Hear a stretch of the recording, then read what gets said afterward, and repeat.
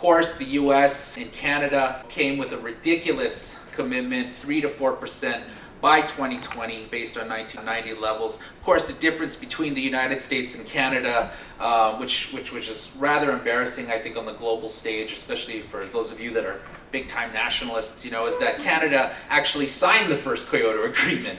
And as Dave mentioned, it's now 34% um, above you know where we're supposed to be in terms of the first internationally legally binding treaty we signed and um, you know Canada definitely uh, in partnership with its big bully brother, the United States government, was in Copenhagen doing everything that they could to systematically kill um, the second track of negotiations, the high-level negotiations around the Kyoto Protocol, uh, a post-Kyoto uh, agreement.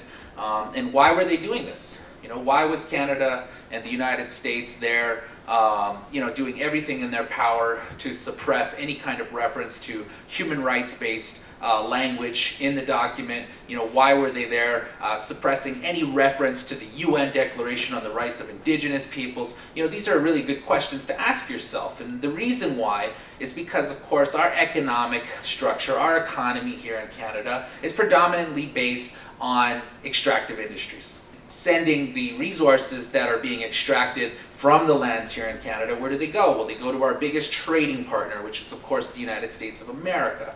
And, you know, what are these resources? Well, it's oil, minerals, timber, you know, these sorts of things. And where are these resources coming from? Well, if you take a map of all 636 reservations, okay, Indian communities across this country, all the Métis settlements, and of course all the Inuit communities in the Arctic, you will see that every major oil and gas development, transmission line, hydroelectric mega dam, uh, you know, massive open pit mine, uh, the tar sands development, pipelines coming out of the tar sands, refineries are all within, you know, 20 or 40 kilometers of an indigenous community.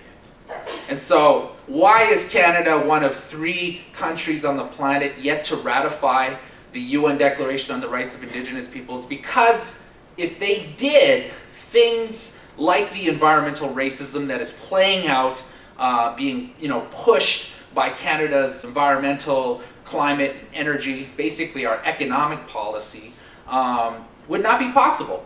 You know, the tar sands would not be possible if Canada ratified the UN Declaration on the Rights of Indigenous Peoples, which is, of course, the bare minimum, okay? It is in no way representative of all of indigenous people's needs in terms of our fundamental right to exist, you know, uh, our human rights. It is the bare minimum standard, okay, that came and was ratified by the UN um, after 25 years of tireless work by many of our indigenous leaders.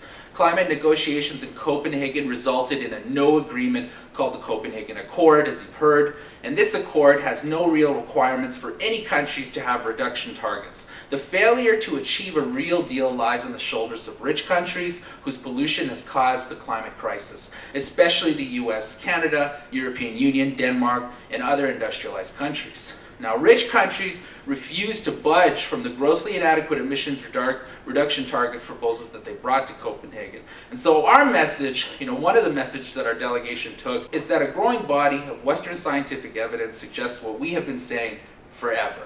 For a long time, life as we know it, bottom line, is in danger. We got to do something about it.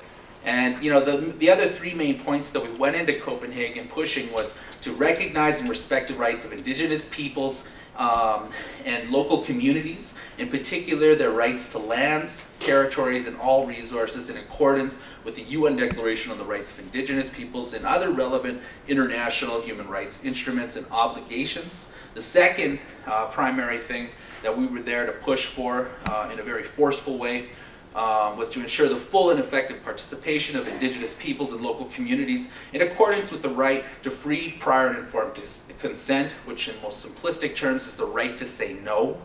Um, and three, to recognize the fundamental role and contribution of indigenous peoples, traditional knowledge, innovations, and practices. I think 60,000 years of ecological you know, know-how is, uh, is pretty good, uh, uh, it's a pretty good resume, you know. We know what we're talking about. And so, you know, the Copenhagen Accord as a high-stakes deal maker was really a Copenhagen steal. Uh, maintaining indigenous people's participation is mentioned inside the Bella Center uh, was very important during the waning hours of the conference to ensure the rights of Indigenous peoples would be recognized in the Accord. This, however, did not happen. Neither human rights language nor the rights of Indigenous peoples were recognized in the ridiculous agreement that came out of Copenhagen. And this will lead to further human rights violations. Mark my words. Climate destruction, loss of land, and the disruption of livelihood and well-being of not just indigenous communities uh, from the Arctic and the global south, but coastal peoples and other you know, populations that are urban-based, that are susceptible, you know, low-income people that are, that are not insulated from the ravages of our rapidly destabilizing climate. And the final Copenhagen Accord could enshrine scientifically unsound and dangerously low emissions reductions targets that could represent a death sentence for these very communities that I'm talking about that IEN supports and you know really that we're made of. Representatives of Athabasca Chipewyan First Nation, of Fort Smith Landing First Nation, talking about the grave impacts of the world's most destructive development, the tar sands, uh, on their way of life, the cultural genocide, uh, legally sanctioned by the government of Canada that's taking place with this development. These types of global market-based solutions like forest offsets, like the World Bank uh, REDS initiative, you know, enable these types of developments to actually expand. Because Canada, through its investments in the World Bank, could say, hey, we planted 2 million trees in Indonesia, so let's expand the tar sands. The reality of energy policy in both Canada and the United States is that the majority of uh, mega developments are grossly uh, disproportionately impacting indigenous peoples uh, who of course, you know, whether it's the tar sands or mega coal extraction in Montana, Wyoming, or in Big Mountain in the Navajo Nation, Black Mesa, um, you know, or uh, just dozens of refineries that are being retrofitted, new proposed refineries, coal-fired power plants. A lot of these facilities, uh, as I mentioned, are being built on the backs of indigenous peoples and our communities are being sacrificed at the altar of irresponsible economic policy. You know, we went to Copenhagen to demand action, not false hopes and empty promises, um, just like everybody else here on this panel. Um, the delays and bullying tactics of Canada and the United States amounted to continued uh, carbon colonialism, and as Indigenous peoples, we must raise the bar.